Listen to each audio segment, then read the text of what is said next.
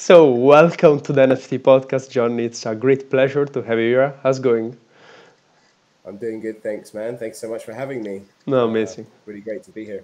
Amazing. So, I want to start with your story because you made so many things that I want to start from the beginning. So, just give me your background story. Maybe if also from where when you were a child, when you start, like from where you want. Sure. How long do you have? Hours, story. millennials. I'll do the short. I'll do the short version. Um, I'm obviously British. Uh, I was born in London. Um, I uh, was on stage um, acting and on television from the age of eight and 10 years old in the UK. Um, when I was 14, uh, I started my first company um, and I won an award from the Queen's husband, the Duke of Edinburgh. Um, and I was very excited about making things. Um, I was very much a designer and an artist. Uh, I studied architecture um, and um, art and design foundation at Manchester University. Um, and I realized that you can design with a computer just as well as you can with your hands, if not better, because it's uh, more perfect, right? It's uh, easier to uh, to get it all in place. So I started to create with lots of different tools, uh, uh, Blender and uh, Dreamweaver and um, um, uh, After Effects and um, various different programs, right? Yeah. Photoshop uh, a lot of the time.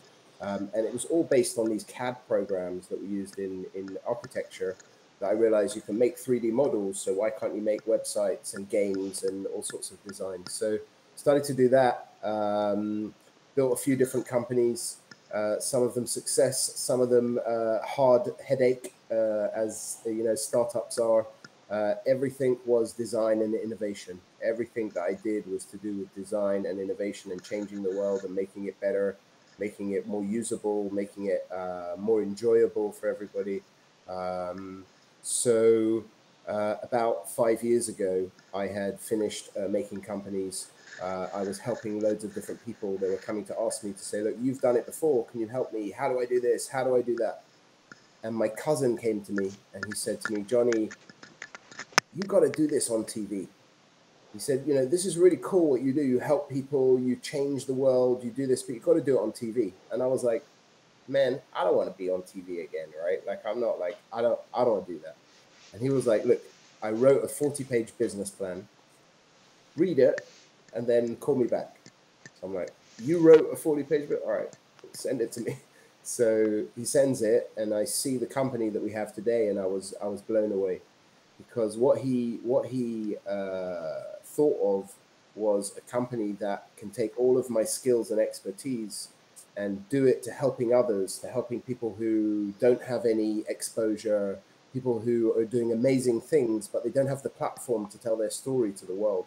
Um, and I was really helping those people, but I wasn't helping them in the public eye. I was helping them privately. So we started to make TV shows. We made our first show called Tech Talk.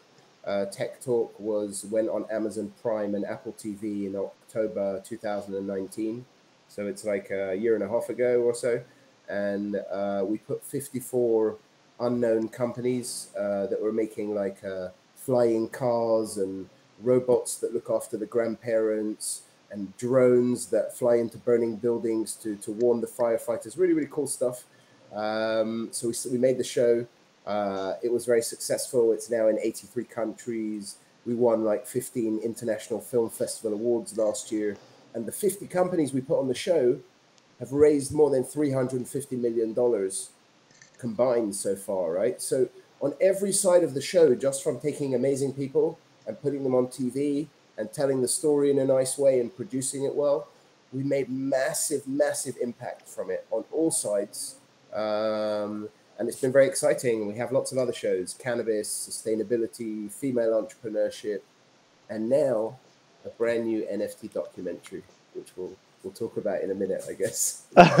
you guess well. Okay, amazing story, amazing from the beginning, entrepreneur from the beginning, and what you, the value that you created for this company. It's very incredible for me, and it's very uh, important for me to say because I am in this period of life in which I'm about to, let's say, create my first company, and based on my present skills, will be a media company, let's say, probably. So it's very important for me to hear from you that media was what enables you to make all this because you were a philanthropist, you were an entrepreneur, you were an artist, and just by communicating, just by creating a show, let's say a podcast, a film, you put it all together and value came just communicating. So that's that's really important for my theory that it's not important what you have, it's important what you share. And by sharing this kind of value creates one, one upon each other. Massive, massive effect from it. And like you said, I, you know, I wasn't. It's not about me. Any of the shows are not about me, right? They're about other people, about yeah. other cool people. But because I know how to communicate it well, how I know to tell the story to other people, how to present them, um, how to design it, how to make it engaging and informative, how to tell the story factually so that you enjoy it.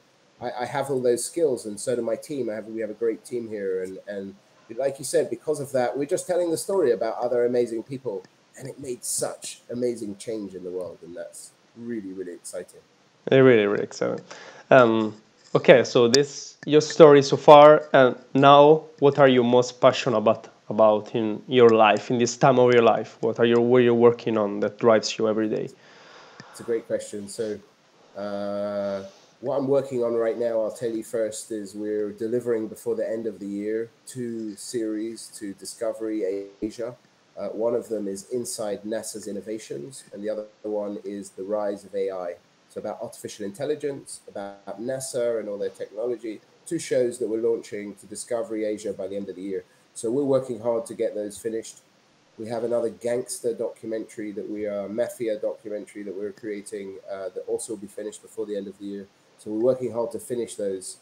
Uh, I love what you asked me though. You said what I'm passionate about because I was passionate about all of this I'm working on, but then came the NFT industry, right? Six months ago.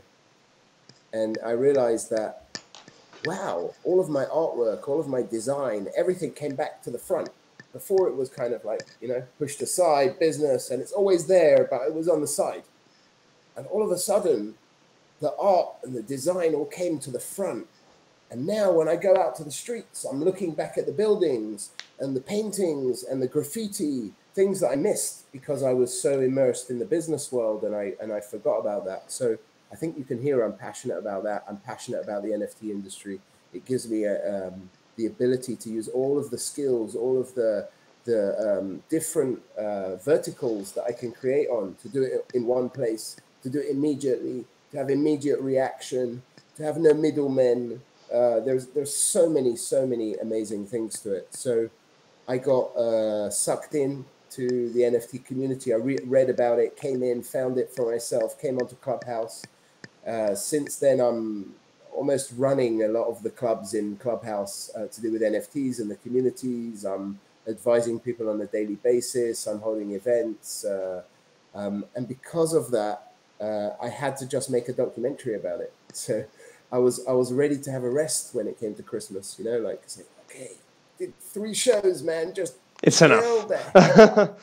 yeah, but um, but I got to do this. Yeah. So uh, we're releasing uh, in on Monday. We're dropping 52 utility NFTs. Um, there are they go alongside the show, so anybody can help to finance the first season of the show when they buy the utility NFT, they get the NFT, which is worth money. They get the percentage of profit shares for five years. They get a bonus NFT, which is some unique content that they'll get. Um, and they get DAO. So they get to help to choose the direction of where the documentary is going. So I'm taking on one more. I'm passionate about the NFT industry in this documentary, and I'm passionate about the fact that I've made it in a way where it's community led right? It's community inspired and led. So it's really much in the spirit of the NFT community.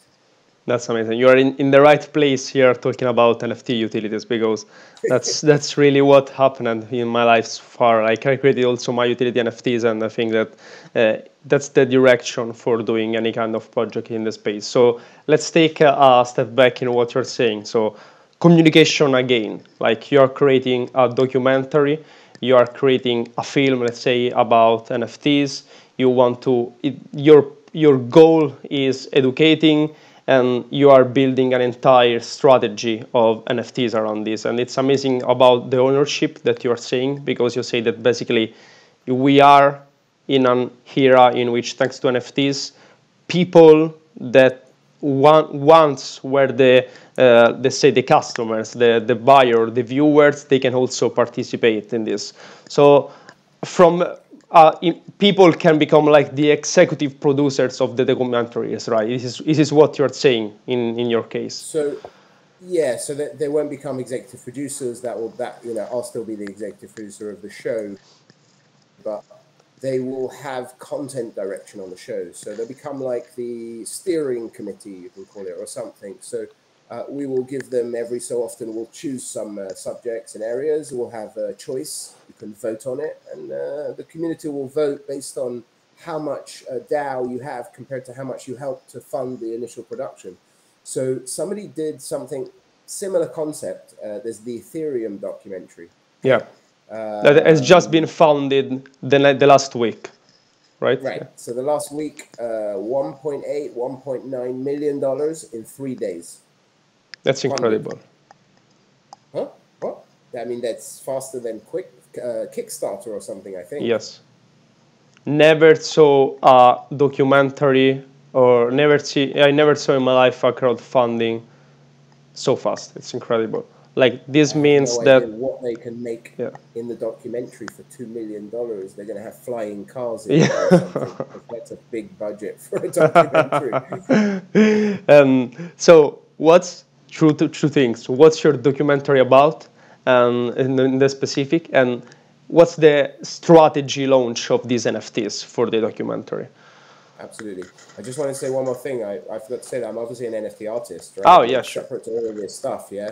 Like I create my own art, and, and so I got like over 300 collectors. So I, have I've, it's not, I didn't just come in as a filmmaker. I know you know that, I just wanted to say it, but, but uh, of course, I do my artwork as well, which is uh, which is really inspiring to be able to create in, in that way.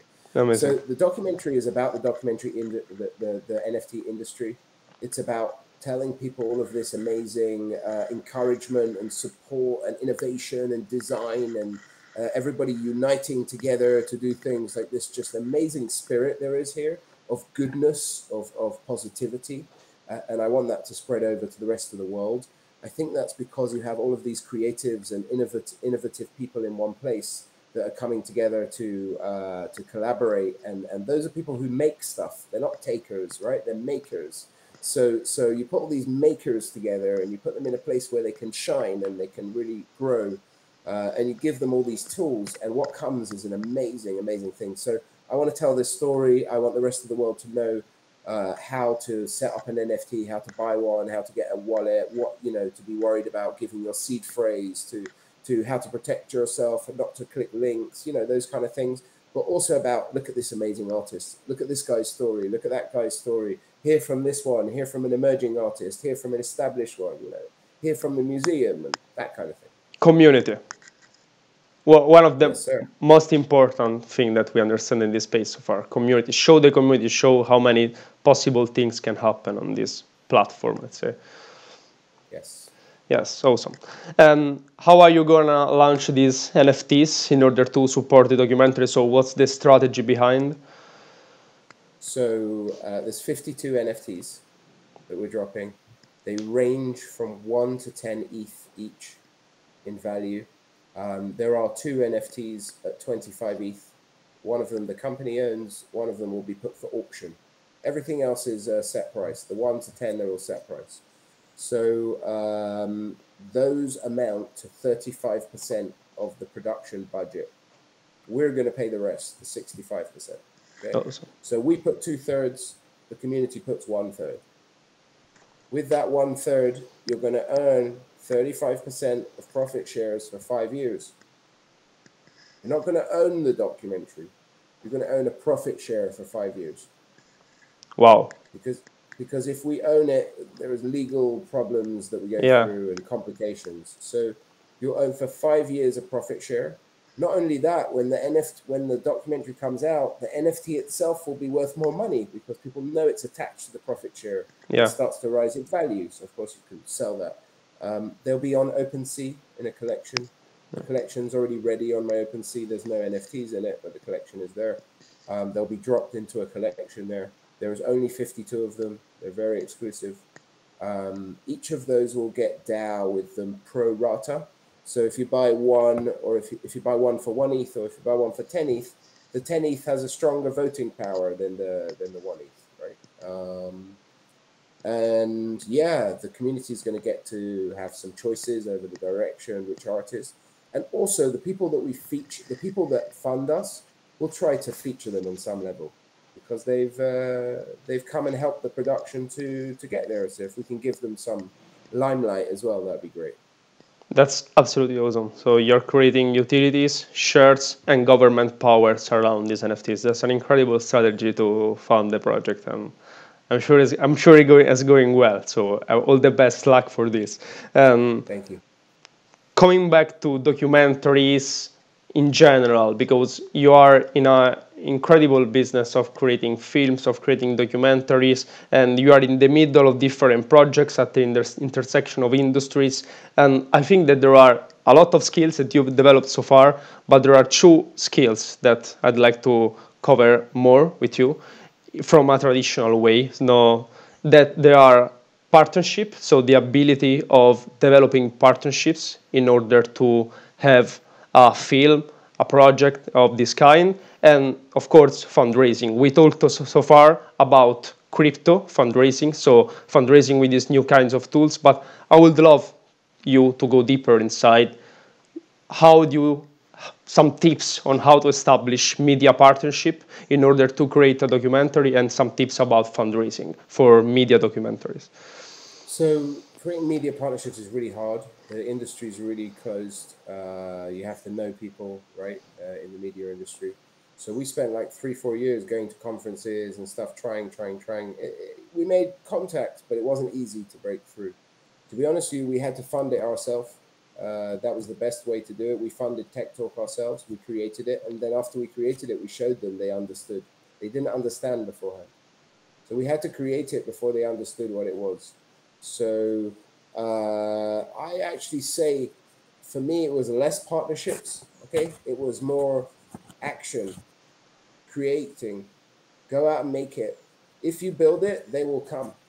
So you know, like go out and make it, and then and then show them it, and then they can't say no because you know they can say no before you make it. Oh, I'm not sure. I don't know how. After you make it, they either like it or they don't. So if you make it really well, they're going to like it. So uh, I kind of go that way. It's a little bit risky. Other people don't go that way. They won't invest their money to do it. They want you know the company to be sure. Um, but I believe in what we do, um, and every project is carefully thought out. So um, we just uh, find a way to create it in, independently. Um, we then create it. We use all of our skill, our enthusiasm, our passion to create it. Um, and then we go and make partnerships. And you find when you have content, people want content. So if they can see it, it's very easy for them to make a decision if they want it or not. yeah It's, it's as simple as that. So the best way is to make it, send it out, keep keep hitting people up. You know, making those connections. Um, and yeah, and that's and that's really that's that's probably both questions. Is one is Yes. I don't really from from a budget point of view, from the fundraising, we do that through private investors or things like this or our own money. Um, but we don't do it through the TV network. A normal company will make a pilot, they'll go to the TV network, they'll get a green light, the TV network will pay for it, you'll be locked to that TV network for three or five years. Um, and then afterwards, you can do what you want. But I- I don't want to work that way. I want to own it, I want to call the shots. Um, and right now, we sell Tech Talk to 24 different broadcasters in, in 83 countries. So, so because of that, we have much more uh, ability to to to sell and to to branch out and, and etc. Good job. That's amazing. So you're saying basically the challenging, the most challenging part is at the beginning because you need really need to leverage on your network uh, and understand that these people can be the first, let's say, investors in what you're doing. Then you build it, and other people wants to jump on board. And you mentioned for uh, uh at the beginning that you made some public appearance, some public speeches about what you're doing, what you're creating. So, and you said for years. So, in order to raise money for a project is your kind of advice that you don't have to ask let's say uh, you need to build relationship over time. It's just important to build relation that's for you the power the secret in order to having partners and fundraiser and, and fundraising over the time.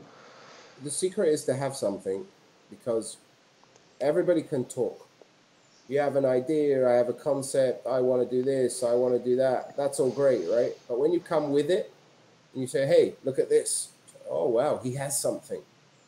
So, so my answer is go with something, right? Don't go with an idea. Don't go with a concept. Everybody has a concept. Go with showing that you already produced something. Look, look at this thing. And say, oh, wow, I, I, I love it. That's the best way to get somebody on board. So if you're creating a, a collection or a film or a product or software, get it to a stage where you can show them something and then you prove I'm, I'm worth something. I have something in my hand. It's, it's, it's valuable. Look at it and they can see it. It's tangible. Um, so, so I would say the best way to do it, you can ask. There's no problem with that. Don't be scared to ask. And if you ask, make sure you've got your business plan Make sure you've got your financial forecast. Make sure you've got everything ready because they're going to ask for that. Don't you can't go ah ah ah. I'll get it for you. You have to be ready. So that's what I mean. Come with stuff in your hands. Come with your passion. Come with enthusiasm, but come with something. Don't just come with a story or a concept. And that has a lot more value. Already show the value, and people want to buy in because of that. Yeah, totally agree with you. Yeah, yeah, yeah.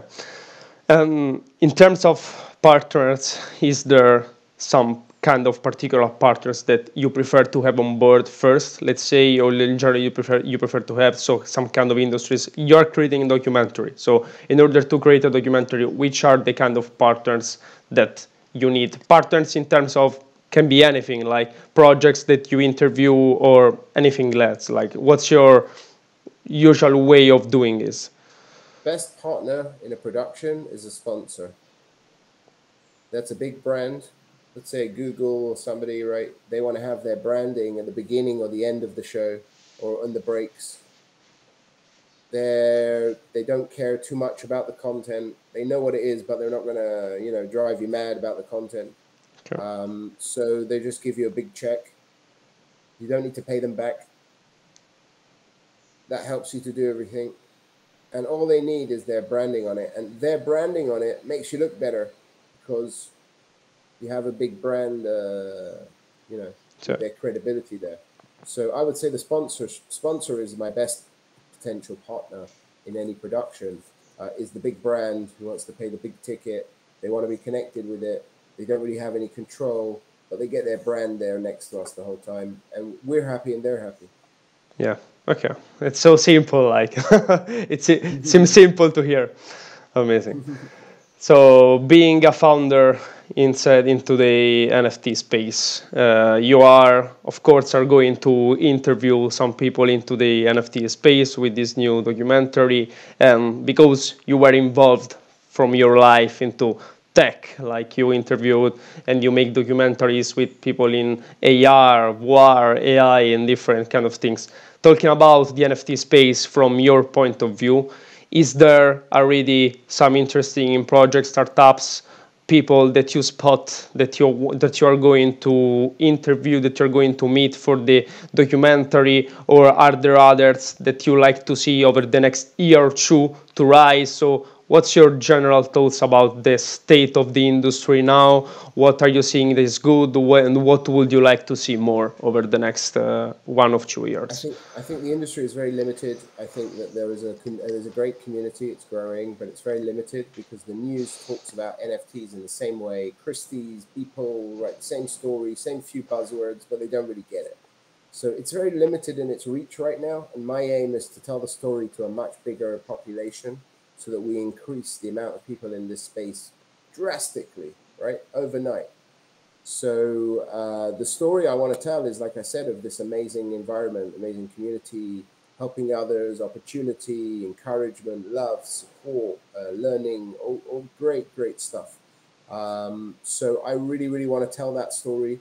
I'm very excited about Refik Anadol, um, the reactive uh, uh, art artist. He does amazing moving art in, in, in buildings and museums around the world. It's incredible. I can't wait to see some of his stuff up close. Um, I can't name any names, but some other artists are creating some artwork to go on the spaceship for SpaceX. It's going to go into space. It's wow. also reactive art. Um, it's super, super cool. Uh, we have some people, again, I can't name any names, who are um, doing all of the outdoor advertising in like Times Square and around the world to put NFTs really in the world, right? So uh, I'm excited about that. I'm excited about Art Basel in Miami. Uh, I'm excited about seeing holograms and uh, more uh, projected art. Um, just it looks so futuristic. This is a combination of everything I've ever done, right? This is how I bring all of my tech and futurism and business into my art and creativity and innovation. They all meet in the middle, and you get this explosion of uh, futuristic technologies and creativity and innovation. It's so freaking exciting, man. No, it's absolutely amazing. And you know what is amazing? The creator economy that is rising around NFTs.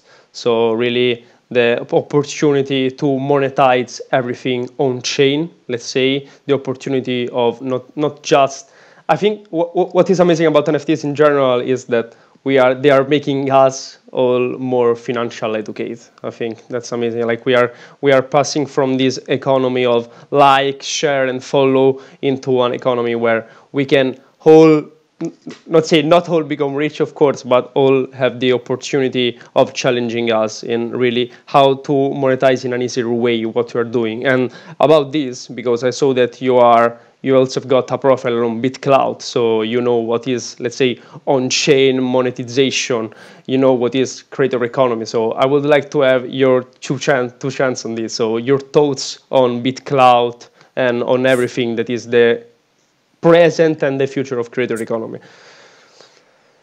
So I think BitClout is cool. I think that they, uh, I'm, I'm waiting to see their NFT platform that they come out with and how that is. I was never a big fan of their design, to be honest with you. I know that it's like that um, on yeah. purpose.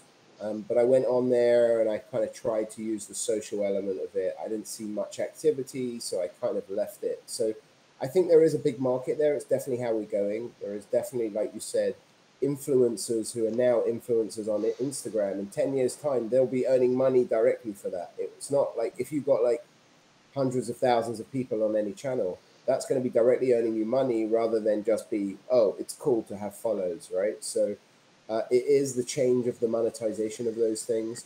I agree that all these creative people right have had to really put on their entrepreneurial brain and find out how to sell how to market how to shill how, you know which is hard for all of them. So you've got this collaboration you've got this meeting of creativity and business um, and uh, as you said, it's making people who create, people who, who, who can develop things, who can run things, um, are going to see the financial rewards of that um, in the short and the long term, right? Because the more you build up, I'm thinking about all these things I'm building up.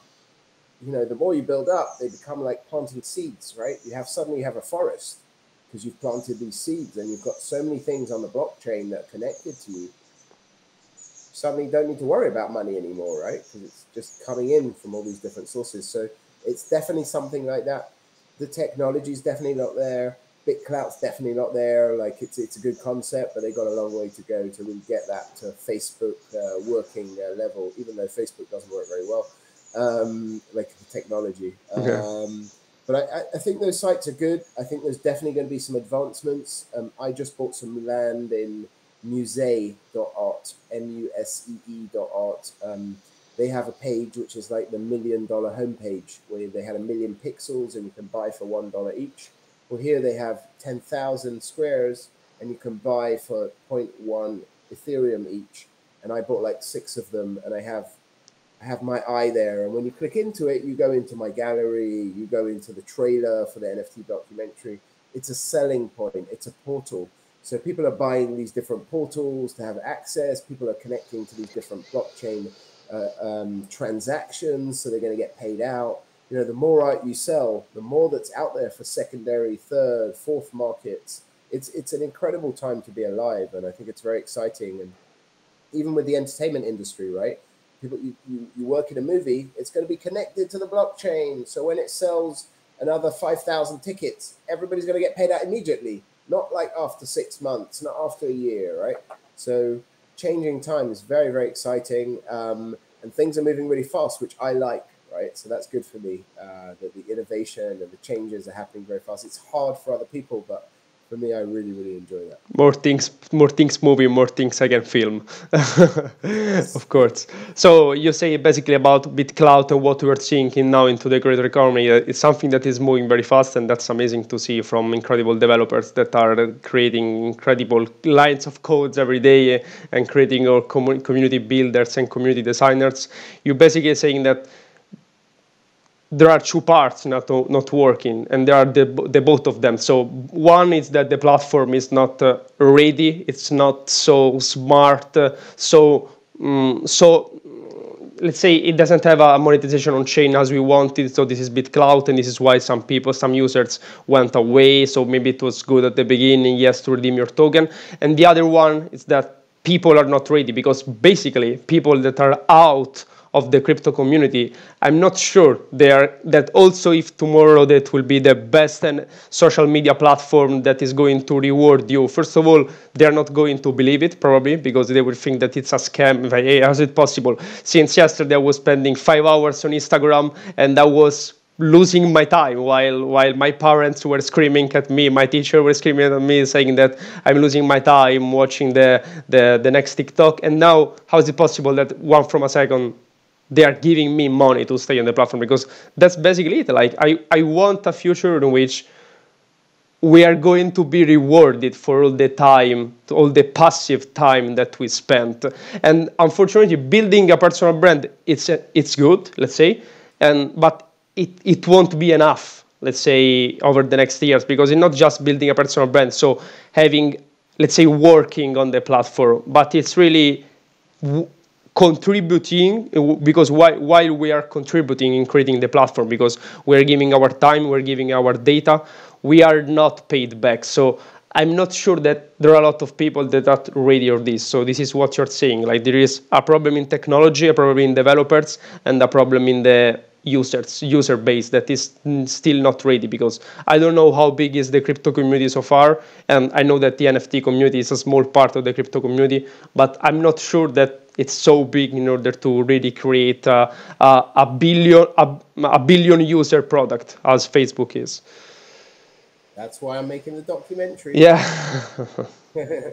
so I really I'm really happy to talking with you about this because I think that education is first of all, it's the most important thing of the world. But when we are talking about NFTs and crypto, education and media put together, it's the first thing that you need to know. So for people that started in 2018, 2019, 2020, 2021, like of course building projects on a side and the other one is educating because you need you are creating a market. So if you want a product market fit over the next years you need to educate people and understand this. And i think it's really exciting. It seems more difficult but while educating others you are educating yourself and that's so important into this and just those two things what you said about the market one of them is technology right so the technology is not there and functionality and the other one is uh, discovery. When you go to the platforms, it's hard to find artists. It's hard to find what you're looking for. It's not easy to search. There isn't a Google of, of NFTs. Yes. So the two problems of technology and discovery, right, or exposure or marketing, whatever you want to call it, until they nail those, which everybody's working on, but until they nail those, it's not really going to take off in the in the greater world. And that's why I'm helping with the documentary series and other things. But it will be a combined effort. Yeah, and I think that about you said Google NFT, we need a platform that connects to all the other platforms. So like we really need this kind of metaverse ready in which we can connect to all the other because otherwise okay where can i find you on foundation or Rarible on OpenSea on uh, KnownOrigin it's so hard to find one person on, on all those things. Yes. you could say that get try showtime does that but it's not mainstream try showtime. It's still inside the nft industry. Yeah. Yeah.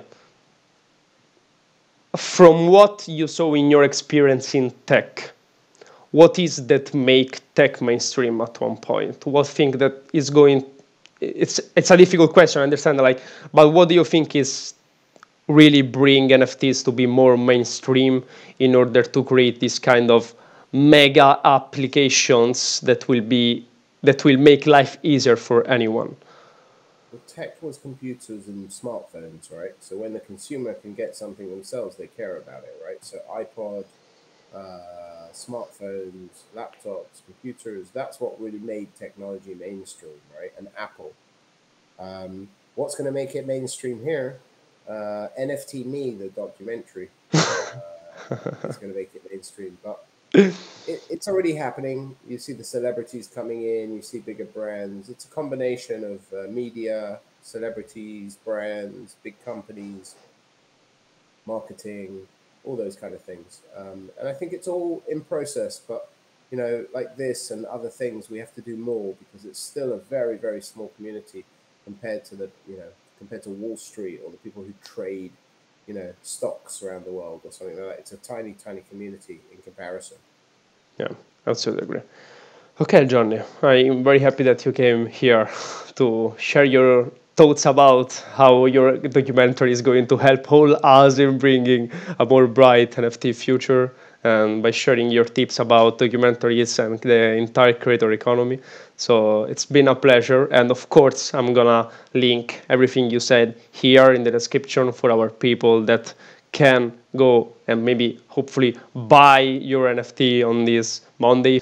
So thank you very much for coming here today thank you so much. It's really great being on the NFT podcast. Um, love what you guys are doing, and thanks so much for the spotlight. Really, really appreciate it.